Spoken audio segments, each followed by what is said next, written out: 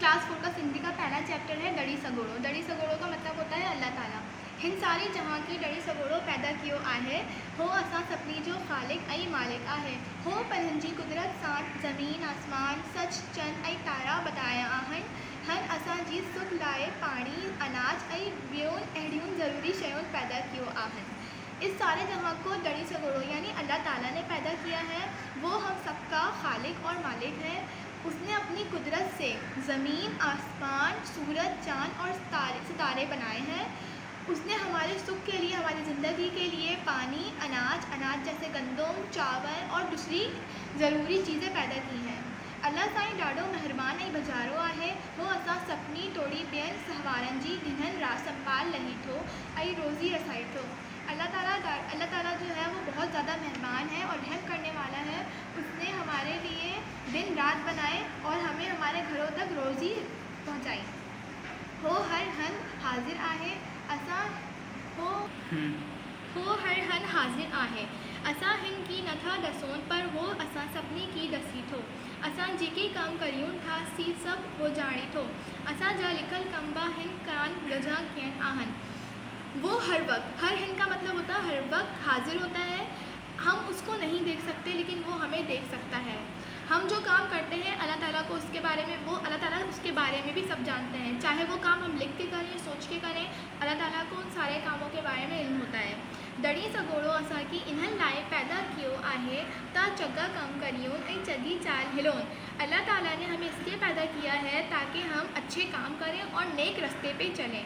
असांखे घुर्जे ता डणी सगोड़े की याद करियूं ऐं सिंदस हुकुम थी हलोन हमें चाहिए कि हम अल्लाह ताला को हर वक्त याद करें और उसके बताए गए कामों पे उसके बताए गए हुक्म पर अमल करें। इस चैप्टर में अकर मायने अगर मैं देखूँ है अल्फाज मायने यानी मुश्किल अल्फाज। तो मुश्किल अल्फाज वही हैं जो बुक में थे, यानी डरी सकोड़ो अल्लाह ताला, पानी मीन्स पानी, सुख मीन्स सुख। दिनहन का मतलब होता है दिन, चंगा काम, यानी अच्छा काम, और हुक्म का मतलब होता है हुक्म। खाल बुरीन यानी फिल इन द ब्लैंक्स खाली जगह। हिन सारी जहान की दड़ी सगोड़ो पैदा किया है, यानी सारे जहान को अल्लाह ताला ने पैदा किया है। हो जी कुदरत, साथ ज़मीन और आसमान बढ़ाया है उसने अपनी कुदरत से ज़मीन और आसमान बनाए हैं। अल्लाह साईं ॾाढो मेहरबान ऐं बजारो है। अल्लाह ताला नहायत, मेहरबान और रहम करने वाला है। हो, हर हंद हाजिर आहे वो हर वक्त हाजिर होता है। हिन असां लाइ इन्हें पैदा कियो आहे, त चंगा काम करियो ऐं चंगी चाल हिलो। उसने हमें इसलिए पैदा किया है, ताकि हम अच्छे काम करें और अच्छी, अच्छे और नेक रस्ते पे चलें।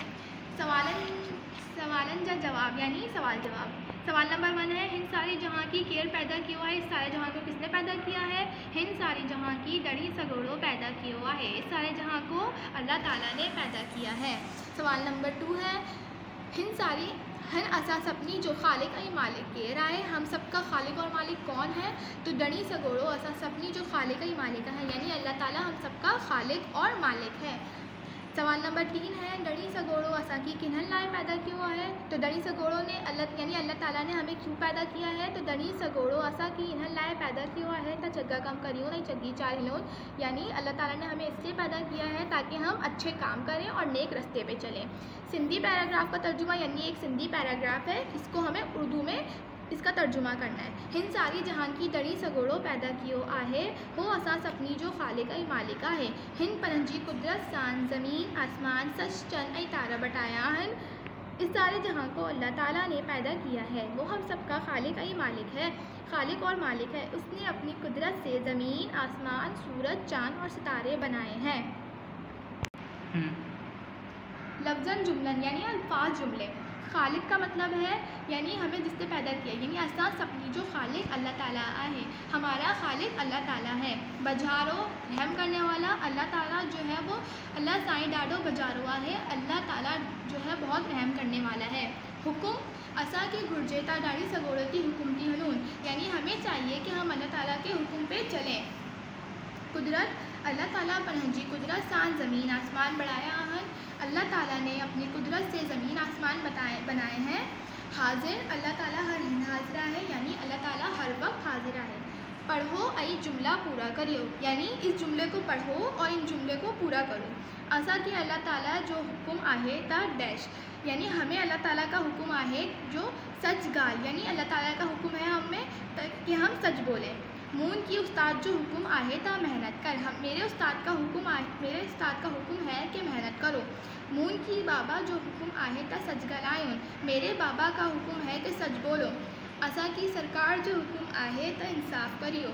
हमारी सरकार, यानी हमारी गवर्नमेंट का हुक्म है कि हम इंसाफ़ करें। असा जो फ़र्ज़ आहे, ता कानून थी हलो। हमारा फ़र्ज़ है कि हम कानून पे चलें। मुनहन जो फ़र्ज़ आहे, ता सच ॻाल्हाइनि मेरा फ़र्ज़ है कि सच बोलूँ